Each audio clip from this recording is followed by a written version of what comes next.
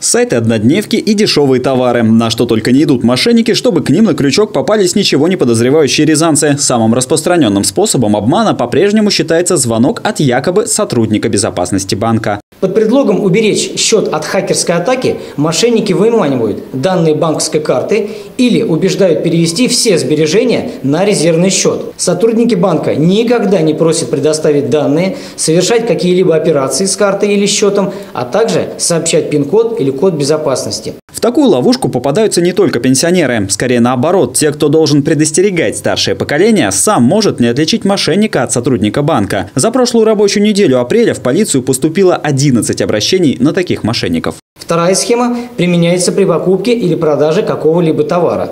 На сайтах бесплатных объявлений люди пытаются купить товар со скидкой, либо значительно дешевле, чем в онлайн-магазинах погоне за выгодой люди соглашаются внести предоплату, после чего продавец перестает выходить на связь. От такого рода мошенников пострадало два человека за прошлую неделю. Точнее, двое обратились в полицию. Самих пострадавших может быть куда больше. Также два обращения поступило по поводу сайтов однодневок. Мошенники регистрируют несколько сайтов по продаже разного рода товаров и оставляют свои номера в разделе «Контакты». Потом остается только принять заявку от клиента, убедить внести предоплату и дело в шляпе. Трубку мошенники больше не берут, а чаще всего сим-карты просто выкидывают выкидывают. Сотрудники полиции в очередной раз напоминают гражданам, предупредите об уловках мошенников своих родных и близких. Будьте хладнокровны, не поддавайтесь эмоциям, внимательность, здравомыслие и бдительность позволят вам избежать потери денежных средств. Если же вы стали жертвой мошенников, то стоит обратиться в полицию. Сделать это можно по телефону 02 со стационарного или 102 112 с мобильного. Валерий Седов, телекомпания «Город».